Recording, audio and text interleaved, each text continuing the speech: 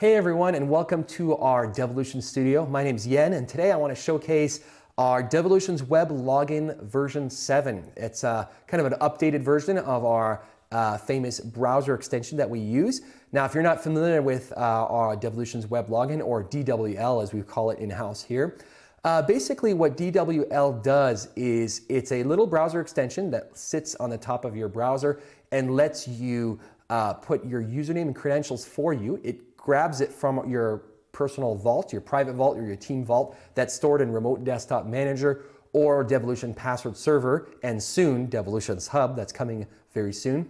But the idea is it grabs securely your uh, credentials, username, and passwords and puts them into uh, your favorite websites. So you might be browsing uh, a corporate website or a personal website and uh, you go in there and automatically your username and password, passwords get put in automatically for you. You don't even have to know the password, it automatically puts it in there.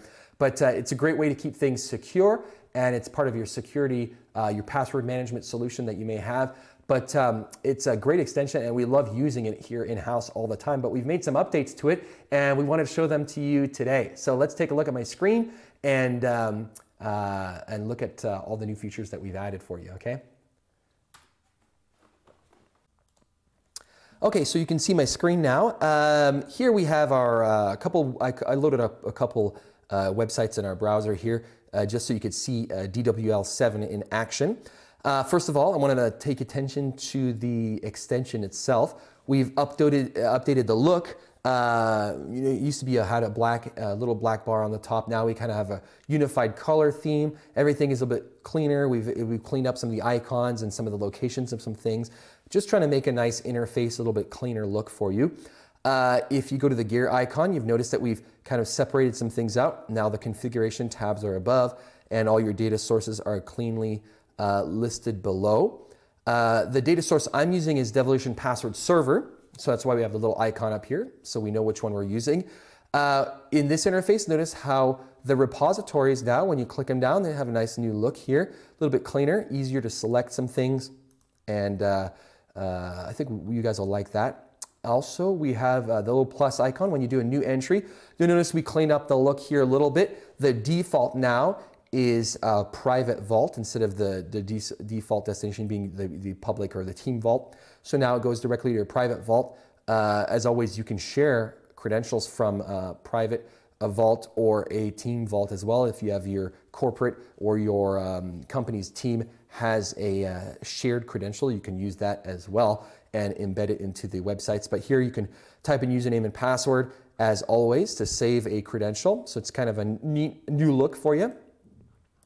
Uh, notice also if I look at the web page here, a couple different changes, some improvements I think. Uh, you'll notice here there's like a little one. It shows you how many um, uh, passwords are saved or accessible for this uh, in this inline field right here.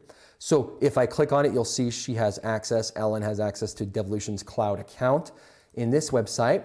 But if I turn my attention, what if there's more than one? Okay, let's see that. So I've got this website here, Tuango.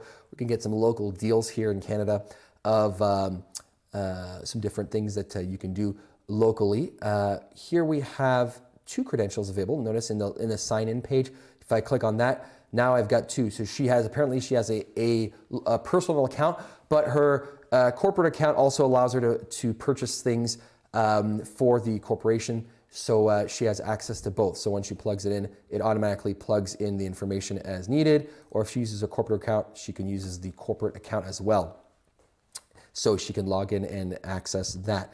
So kind of a nice thing. Now let's say you wanted to add another one. Um, I want to show you kind of a new look. So let's say she has also a corporate uh, personal account. Maybe they want to separate uh, roles out. Uh, so I'm going to put in a username and password for her. Obviously this account doesn't exist, but I want to show you what happens when you try logging in and save it. Now notice the new uh, dialog box here has uh, the username and password don't show up again uh, they were automatically copied from their current location. But uh, it's kind of a new interface. So you notice it has this uh, new save dialog here. Um, and instead of never, it now says don't ask again, okay? So we, we just wanted to make things a little bit clearer and easier for you guys to see. But um, yeah, that's basically it.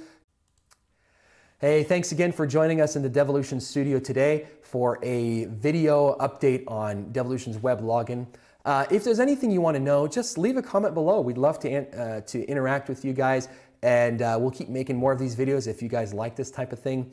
But uh, thanks again, and uh, make sure you subscribe to our channel. That's how you'll find the latest and greatest for all of our products, our demos, anything that we do. We'll upload it to YouTube uh, for you guys. And thanks again for being a great fan. Check out our social media as well, and just interact with us. We'd love to hear from you. Thanks again.